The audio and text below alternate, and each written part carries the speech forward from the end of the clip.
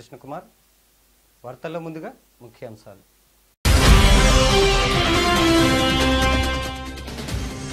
Parliament సమావేశాల నేపథ్యంలో సభలో అనుసరించాల్సిన వ్యూహాలపై CM YS Jaganmohan Reddy YSR Congress party ఎంపీలతో virtual meeting ఏర్పాటు చేశారు.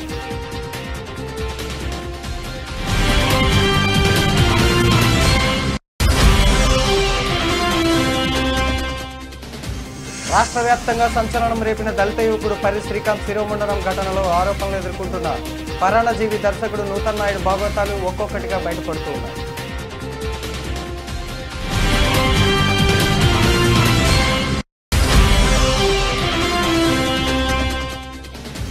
పశ్చిమ మధ్య బంగాళాఖాతంలో ఆంధ్రప్రదేశ్ తీరానికి సమీపంలో ఏర్పడిన ఉపరితల ఆవర్తనం దానికి అనుబంధంగా మరో ఉపరితల ఆవర్తనం ఏర్పడింది.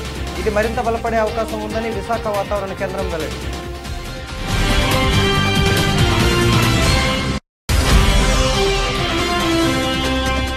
గడిచిన ఇరవై నాలుగు గంటల్లో అరవై ఒక్క వేల ఐదు వందల ఇరవై తొమ్మిది కరోనా నిర్ధారణ పరీక్షలు నిర్వహించగా వీరిలో ఏడు వేల తొమ్మిది వందల యాభై ఆరు మందికి పాజిటివ్గా తేలింది. దీంతో మొత్తం కేసుల సంఖ్య ఐదు లక్షల డెబ్బై ఐదు వేల డెబ్బై తొమ్మిది వార్తల్లో ముందుగా పార్లమెంట్ సమావేశాల నేపథ్యంలో సభలో అనుసరించాల్సిన వ్యూహాలపై CM YS Jaganmohan Reddy YSR Congress party ఎంపీలతో virtual meeting ఏర్పాటు చేశారు.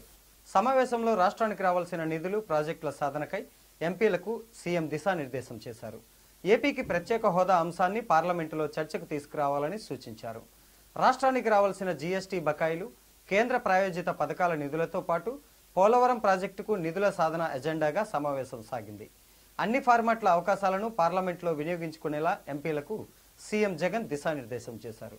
ఇప్పటికే బీఏసీ సమావేశంలో ఏపీకి సంబంధించిన కరోనా నియంత్రణ చర్యలు రాష్ట్రాలకు రావాల్సిన జీఎస్టీ నిధుల వంటి అంశాలపై చర్చించాలని వైఎస్ఆర్సీపీ లోక్సభ పక్ష నేత మిథున్ రెడ్డి స్పీకర్ను కోరిన సంగతి మనకు తెలిసిందే. రాష్ట్ర వ్యాప్తంగా సంచలనం రేపిన దళిత యువకుడు పరి శ్రీకాంత్ శిరోముండనం ఘటనలో ఆరోపణలు ఎదుర్కొంటున్న పరాన్నజీవి దర్శకుడు నూతన్ నాయుడు భాగవతాలు ఒక్కొక్కటి బయటపడుతున్నాయి. అతనిపై ఇప్పటికే పలు కేసులు బయటపడగా తాజాగా మరో మోసం వెలుగు చూసింది. ఉద్యోగం పేరిట నూతన్ నాయుడు పన్నెండు కోట్ల రూపాయలు వసూలు చేశాడని ఆరోపిస్తూ మహారాణిపేట పోలీస్ స్టేషన్లో కేసు నమోదైంది. ఎస్బీఐలో రీజనల్ డైరెక్టర్ ఉద్యోగం ఇప్పిస్తానని తన నుంచి పన్నెండు కోట్లు వసూలు చేశాడని ఫిర్యాదులో పేర్కొన్నారు. దీనిపై స్పందించిన విశాఖ డీసీపీ ఐశ్వర్య రస్తోగి ఫిర్యాదుపై లోతైన విచారణ జరుపుతామన్నారు. అవసరమైతే మరోసారి కస్టడీలోకి తీసుకుంటామని తెలియజేశారు. కాగా పివి రమేష్ పేరుతో పైరవీలు చేయడంపై కంచరపాలెం గోపాలపట్నం గాజువాక పోలీస్ స్టేషన్లలోనూ నూతన్పై కేసులు నమోదయ్యాయి. నూతన్ నాయుడు ఇంట్లో పని మానివేసిన దళిత యువకుడు వరది శ్రీకాంత్ను సెల్ ఫోన్ పోయిందనే నెపంతో ఇంటికి పిలిపించి శిరోముండనం చేయడంతో పాటు దారుణంగా హింసించిన ఘటన సంచలనం సృష్టించిన సంగతి తెలిసిందే. ఈ ఘటనకు సంబంధించి కేసు నమోదు చేసిన ఇరవై నాలుగు గంటల వ్యవధిలోనే నూతన్ భార్యతో సహా ఏడుగురిని అరెస్టు చేశారు. శ్రీకాంత్పై చేసిన అకృత్యాలను సెల్ఫీలు తీసి పైశాచిక ఆనందం పొందిన నిందితులు అక్కడితో ఆగకుండా వీడియోలు తీశారు. ఈ ఘటనపై సర్వత్రా విమర్శలు వ్యక్తమవుతూ ఉన్నాయి. పెందుర్తి మండలం వెలమతోట తాండ్రపాపరాయుడు కళ్యాణ మండపంలో నూతనంగా ఆల్ ఇండియా క్రాఫ్ట్ బజార్ ప్రారంభించారు. ఈ ప్రారంభోత్సవానికి ముఖ్య అతిథులుగా రాష్ట్ర పర్యాటక శాఖ మంత్రి ముత్తంశెట్టి శ్రీనివాస్ పెందుర్తి నియోజకవర్గ ఎమ్మెల్యే ఆదిప్రాజ్ హాజరయ్యారు. ముందుగా రిబ్బన్ కట్ చేసి అనంతరం క్రాఫ్ట్ బజార్ మొత్తం సందర్శించారు. ఈ సందర్భంగా ప్రెసిడెంట్ ఎండి నజీం మాట్లాడుతూ ఆల్ ఇండియా క్రాఫ్ట్ బజార్ దేశంలో వివిధ ప్రాంతాల నుంచి లభ్యమయ్యే చేనేత వస్తువులు పిల్లలకు మరియు పెద్దలకు అన్ని రకాల టాప్స్ లెగ్గింగ్స్ ఇతర పరికరాలు సరసమైన ధరలకే విక్రయిస్తున్నారని ఆయన అన్నారు. అదేవిధంగా పెందుర్తి పరిసర ప్రాంతాల్లో ఉన్న గ్రామ ప్రజలందరికీ కొనుగోలుదారులకు కేవలం పది రూపాయల నుంచి ఏడు వేల రూపాయల వరకు అందిస్తామని ఆయన అన్నారు. ఈ కార్యక్రమంలో గొర్రె రామనాయుడు ఎల్బి నాయుడు మమ్మన దేవుడు ఎండి సలీం మరియు తదితరులు పాల్గొన్నారు. అసలు ఎగ్జిబిషన్ సలీము విశాఖ ఆర్టిజన్ డెవలప్మెంట్ సొసైటీగా ఆల్ ఇండియా క్రాఫ్ట్ బజార్ పేరు మీద handloom and handicraft exhibition Pendurthi ప్రాంతంలో తాండ్ర పాపారాయుడు కళ్యాణ మండపంలో పెట్టడానికి జరిగింది. ఈరోజు ఎగ్జిబిషన్ ప్రతి సంవత్సరం కూడా అనేక జిల్లాల్లో రాష్ట్రం మొత్తం పెట్టడానికి జరుగుతుంటుంది అలాగే ఈసారి కూడా పెందుర్తి ప్రాంతంలోనే పెట్టడానికి జరిగింది. ఈ ఎగ్జిబిషన్లోని పది రూపాయలు వస్తువు నుండి దాదాపు ఏడు వేల రూపాయలు వస్తువు దాకా దొరకడం అనేది ప్రజలకి అందుబాటులో ఉంటుంది. అలాగే దీనికి ఎగ్జిబిషన్కి టికెట్స్ అనేది ఏమీ ఉండదు. కానీ ఎగ్జిబిషన్ పెందుర్తి ప్రజలందరికీ ఉపయోగపడుతుందని చెప్పేసి మేము ఆశిస్తున్నాం. అలాగే ఈరోజు ఎగ్జిబిషన్ ఓపెన్ చేయడం ఓపెన్ చేసింది అవంతి శ్రీనివాస్ అలాగే హ్యాండ్లూమ్ హ్యాండిక్రాఫ్ట్ మినిస్టర్ ఉన్నారు అతను. అతని చేతుల మీద ఈరోజు ఎగ్జిబిషన్ ఓపెన్ చేయడం జరిగింది. అలాగే విశాఖ ఆర్టిజన్ డెవలప్మెంట్ సొసైటీగా కూడా ఆల్ ఇండియా నుంచి స్టాల్స్ అందరికీ తీసుకొచ్చి గ్రౌండ్ ఏర్పాట్లు కానీ లేకపోతే కళ్యాణ మండపం కానీ తీసుకొచ్చి వాళ్ళందరినీ కూర్చోబెట్టేసి ఎగ్జిబిషన్ పెట్టడం జరుగుతూ ఉంటుంది. అలాగే వాళ్ళకి కూడా మనం ఉపాధి చూపించడం జరుగుతుంది.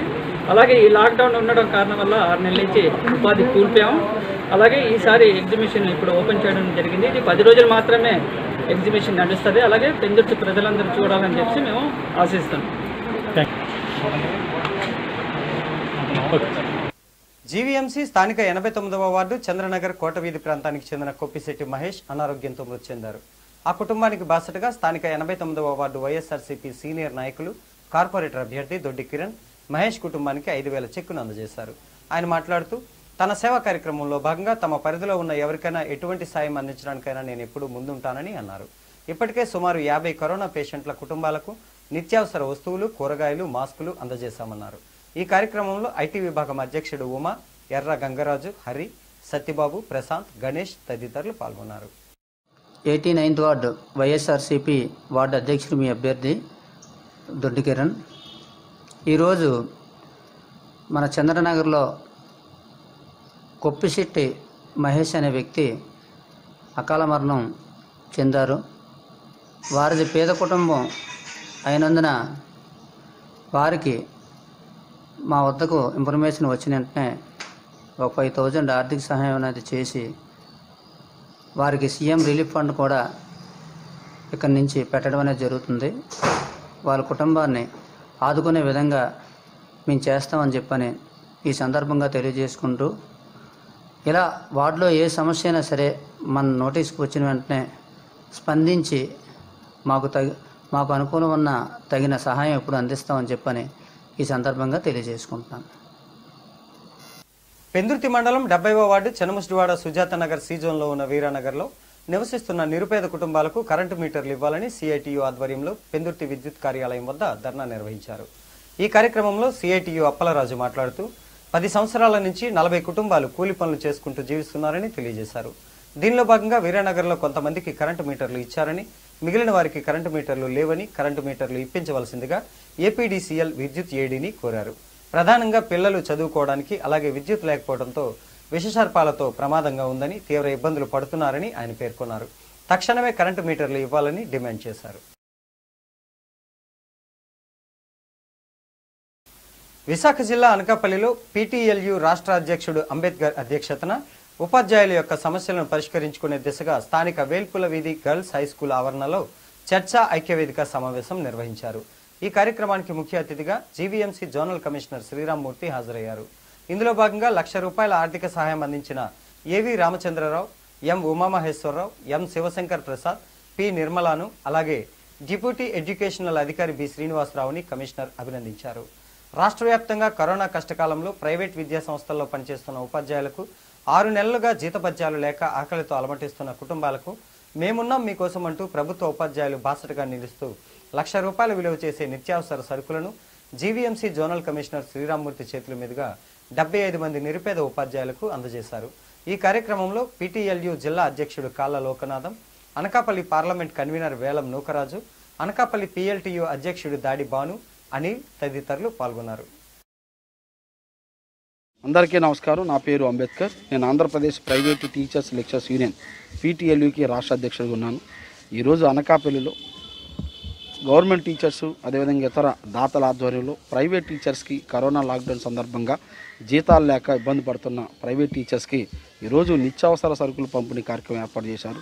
దీనికి మా యూనియన్ తరపున మరి దాతలందరికీ కూడా మనస్ఫూర్తిగా కృతజ్ఞత తెలియజేస్తుంది అదేవిధంగా ఈ సందర్భంగా మరి అనకాపల్లిలో ఉన్నటువంటి మేనేజ్మెంట్కి మా యూనియన్ తరపున ఒక రిక్వెస్ట్. అయ్యా దయచేసి ప్రైవేట్ టీచర్ లెక్చర్స్ అందరూ కూడా కొన్ని దశాబ్దాల నుంచి మన యొక్క విద్యా వ్యవస్థలో ఎంతో వారి యొక్క శ్రమను పెట్టి అదేవిధంగా మీకు ఎంతో సేవ చేశారు. మరి అలాంటి సమయంలో ప్రైవేట్ టీచర్ని అదేవిధంగా మీ సిబ్బందిని ఆదుకోవాల్సిన బాధ్యత మీపైనే ఉంది. కాబట్టి దయచేసి మమ్మల్ని ఆదుకోవడానికి మీరు ముందుకు రావాలి. అదేవిధంగా ఈ స్థానికంగా ఉన్నటువంటి అధికారులకు ప్రభుత్వ ప్రతినిధులు అందరూ కూడా తెలియజేసేది ఏంటంటే ప్రైవేట్ టీచర్ని దయచేసి గుర్తించండి. మా యొక్క శ్రమను గుర్తించండి. మా గౌరవాన్ని పెంపొందించే విధంగా మా ఉద్యోగాలు మా ఉద్యోగాల చుట్టూ ఉన్నటువంటి చట్టాల అమలులో కొంచెం చిత్తశుద్ధి చూపించండి. నిజంగా ఇంత చదువుకుని ఒక గురువుగా పనిచేస్తున్నటువంటి ఈరోజు ప్రైవేట్ టీచర్లు ఇచ్చేసి కరోనా టైంలో జీతాలు లేకపోవడం ఉద్యోగాలు కోల్పోవడం సాధారణ పరిస్థితుల్లో కూడా మాకున్నటువంటి కనీస హక్కులను మరి మేము పొందలేకపోవడం అత్యంత దురదృష్టకరం. వాడు దయచేసి ఎప్పటి వరకు ప్రైవేట్ టీచర్లు లెక్చర్స్ని ఎవరు కూడా సమాజం పట్టించుకోలేదు. ఎక్కడైనా సరే ప్రైవేట్ టీచర్ లెక్చర్స్కి రావాల్సిన కనీస హక్కుల యొక్క అమలులో యాజమాన్యాలు అధికారులు చిత్తశుద్ధితో ఉంటారని అదేవిధంగా ప్రభుత్వం మరి ప్రైవేట్ టీచర్ల స్థితిగతులు మారుస్తామని చెప్పేసి మాకు ఇచ్చినట్టు హామీని నెరవేర్చే ప్రయత్నం ఎంత త్వరగా చేస్తే మా కుటుంబాల్లో ఒక వెలుగు నింపుతాయని చెప్పేసి ప్రభుత్వాన్ని కోరుకుంటూ థ్యాంక్ యూ థ్యాంక్ యూ అనండి వార్తల్లో చిన్న విరామం తీసుకుందాం. స్టేట్యూ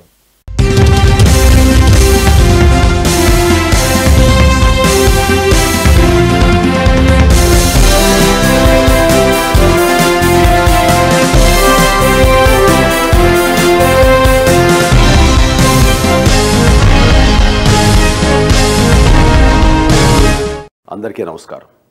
యావత్ ప్రపంచాన్ని భయాందోళనకు గురి చేస్తున్న సమస్య కరోనా.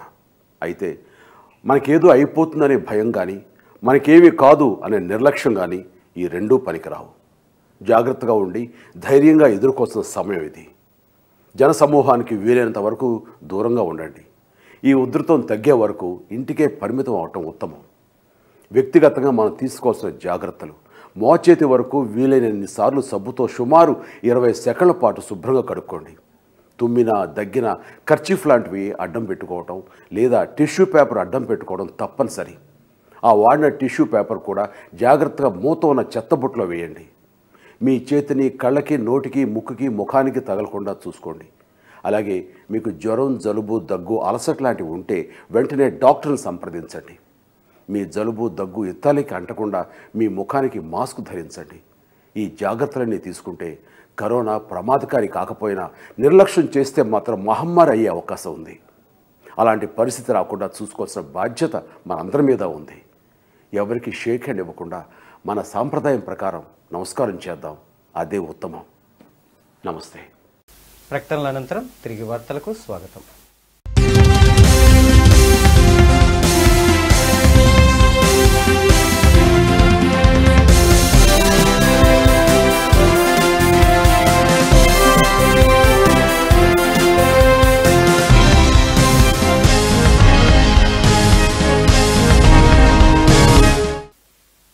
పశ్చిమ మధ్య బంగాళాఖాతంలో ఆంధ్రప్రదేశ్ తీరానికి సమీపంలో ఏర్పడిన ఉపరితల ఆవర్తనం ప్రభావంతో అదే ప్రాంతంలో ఆదివారం ఉదయం ఐదు ముప్పై నిమిషాలకు అల్పపీడనం ఏర్పడింది. దీనికి అనుబంధంగా మరో ఉపరితల ఆవర్తనం ఏర్పడింది. ఇది మరింత బలపడే అవకాశం ఉందని విశాఖ వాతావరణ కేంద్రం వెల్లడించింది. వీటి ప్రభావంతో సోమ మంగళవారాల్లో కోస్తాంధ్రలో పలుచోట్ల వర్షాలు పడే అవకాశాలు ఉన్నాయి. ఉభయ గోదావరి కృష్ణా జిల్లాల్లో సోమవారం భారీ నుంచి అతి భారీ వర్షాలు పడే సూచనలు కనిపిస్తున్నాయి. రాయలసీమలోనూ రెండు రోజుల పాటు వర్షాలు పడనున్నాయి. అల్పపీడనం ప్రభావంతో బంగాళాఖాతం అల్లకల్లోలంగా ఉండనుంది. తీరం వెంబడి గంటకు నలభై ఐదు నుంచి యాభై ఐదు కిలోమీటర్ల వేగంతో బలమైన గాలులు వీస్తాయి. పెందుర్తి మండలం తొంభై ఏడవ వార్డు సుజాత నగర్ విరాట్ నగర్ పరిధిలో గల సర్వే నెంబర్ నూట ఎనభై ఒకటి నూట ఎనభై ఎనిమిది బై టూలో కొంతమంది భూ కబ్జాదారులు అక్రమాలకు పాల్పడుతున్నారని పలువురు వాపోతున్నారు. ఈ సమాచారం అందిన వెంటనే పెందుర్తి తహసీల్దార్ ఆదేశాల మేరకు ఆర్ఐ శివకుమార్ సంఘటనా స్థలానికి చేరుకొని రేకుల షెడ్డు నిర్మించి ఉండడంతో నిర్మాణదారుడిని విచారించగా గతంలో పది సంవత్సరాల కిందట ప్రభుత్వ భూమి పట్టా ఇచ్చారని రోడ్డు నిర్మాణంలో కొంత స్థలం పోయిందని ఆర్య గారికి తెలియజేశారు. అదేవిధంగా గతంలో ప్రభుత్వం ఇచ్చిన పట్టాను తీసుకురమ్మని ఆయన కోరారు. దీనిలో భాగంగా రేకుల షెడ్డు నిర్మాణదారుడికి ప్రభుత్వం ఇచ్చిన పట్టా లేదని రెవెన్యూ సిబ్బంది మరియు వీఆర్ఓ నిర్మాణాన్ని తొలగించారు. సృష్టిలో దట్టమైన అరణ్యం మొదలుకొని సప్త సముద్రాల వరకు నింగి నుంచి నేల వరకు జరుగుతున్న అన్యాయాలు అక్రమాలు వింతలు విశేషాలను సైతం భావి ప్రపంచానికి తెలియపరిచేది ఒక జర్నలిస్టు మాత్రమే.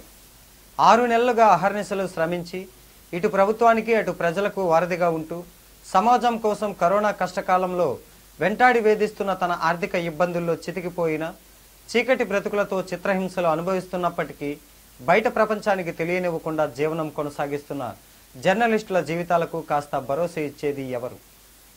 కరోనా కష్టకాలంలో మేము సైతం అంటూ తన పదునెక్కిన కలంతో ఎప్పటికప్పుడు ప్రజలను చైతన్యపరుస్తూ కరోనా పట్ల ప్రజలను అప్రమత్తం చేస్తూ చివరికి కరోనా కాటుకు గురై అమరులైన జర్నలిస్టుల కుటుంబాలను ప్రభుత్వం వెంటనే ఆదుకోవాలంటూ సీనియర్ పాత్రికేయులు బి వెంకటేష్ పి రామకృష్ణ శేఖర్ సంతోష్లు ఆర్టీఓ సీతారామారావుకి వినతి పత్రం అందజేశారు.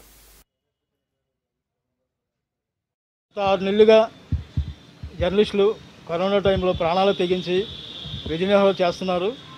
ఎంతోమంది ప్రాణాలు కోల్పోయారు. మరి ఎంతోమంది కరోనా బారిన పడ్డారు. పక్క రాష్ట్రాల్లో జర్నలిస్టులకు ఆయా ప్రభుత్వాలు సహాయ సహకారాలు అందించాయి. నష్టపరిహారాలు ప్రకటించాయి కానీ మన రాష్ట్ర ప్రభుత్వం నుంచి ఇంతవరకు జర్నలిస్టులకు ఏ విధమైన ప్రకటనలు చేయలేదు. దీనిపై ప్రభుత్వం తక్షణమే స్పందించి మృతి చెందిన జర్నలిస్టుల కుటుంబాలను ఆదుకోవాలని అలాగే కరోనా బారిన పడిన వాళ్ళని కూడా ఆదుకొని సహాయ సహకారాలు అందించాలని కోరుచున్నాం. విశాఖ పాడేరు ఏజెన్సీ డివిజన్ పరిధిలో కాడేలి పంచాయతీ వర్తనాపల్లి గ్రామంలో వైఎస్ఆర్ ఆసరా పథకం కింద డ్వాక్రా మహిళల మొత్తాన్ని నాలుగు దఫాలుగా నేరుగా చేతికే ఇస్తామన్న వైఎస్ జగన్మోహన్ రెడ్డి హామీపై సర్వత్రా హర్షం వ్యక్తమవుతోంది. ఒక్కొక్కరికి యాభై వేల మొత్తాన్ని నాలుగు దఫాలుగా చెల్లిస్తామన్నారు. వడ్డీ లేని రుణాలను కూడా ఇప్పిస్తామని చెప్పడం మా డ్వాక్రా మహిళలకు మరింత ఊరట కలిగించిందని ఈ ప్రకటనపై మా నియోజకవర్గంలో ఉన్న డ్వాక్రా మహిళలు సంతోషాన్ని వ్యక్తం చేస్తున్నారని వారు మాట్లాడుతూ వైఎస్ జగన్మోహన్ రెడ్డి ముఖ్యమంత్రి అయి మా జీవితాల్లో వెలుగులు వస్తాయని డ్వాక్రా మహిళలు చెబుతున్నారు.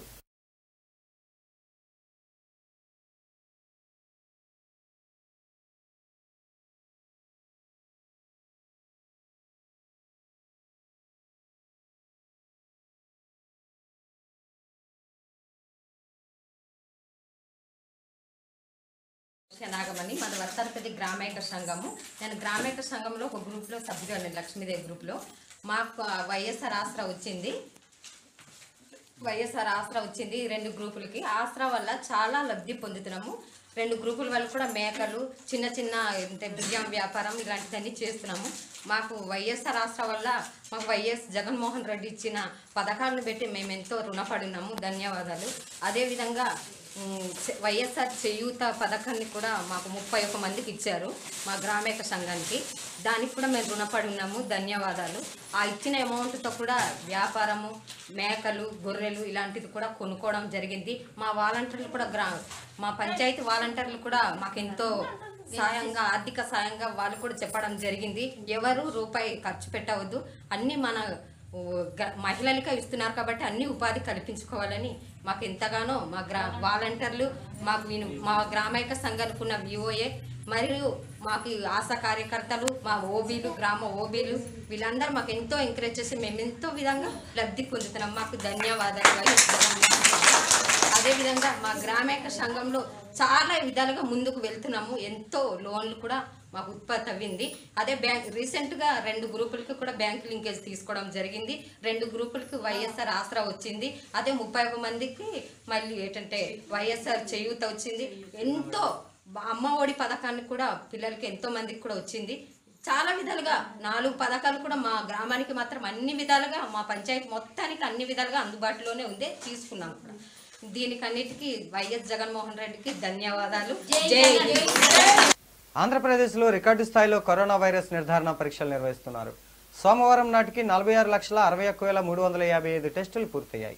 గడిచిన ఇరవై నాలుగు గంటల్లో అరవై ఒక్క వేల ఐదు వందల ఇరవై తొమ్మిది కరోనా నిర్ధారణ పరీక్షలు నిర్వహించగా వీరిలో ఏడు వేల తొమ్మిది వందల యాభై ఆరు మందికి పాజిటివ్గా తేలింది.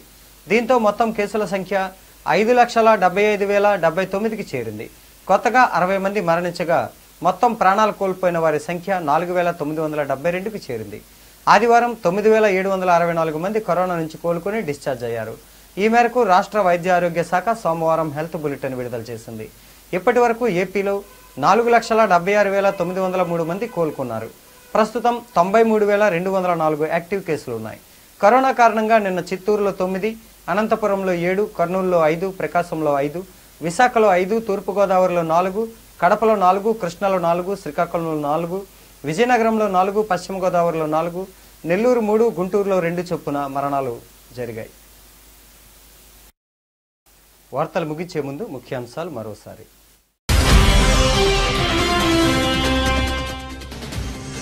పార్లమెంట్ సమావేశాల నేపథ్యంలో సభలో అనుసరించాల్సిన వ్యూహాలపై CM YS Jaganmohan Reddy YSR Congress party ఎంపీలతో virtual meeting ఏర్పాటు చేశారు.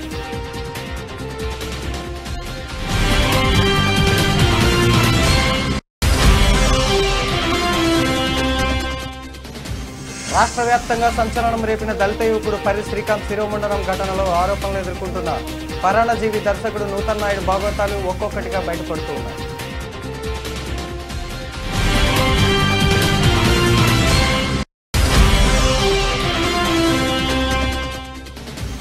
పశ్చిమ మధ్య బంగాళాఖాతంలో ఆంధ్రప్రదేశ్ తీరానికి సమీపంలో ఏర్పడిన ఉపరితల ఆవర్తనం దానికి అనుబంధంగా మరో ఉపరితల ఆవర్తనం ఏర్పడింది. ఇది మరింత బలపడే అవకాశం ఉందని విశాఖ వాతావరణ కేంద్రం వెల్లడించింది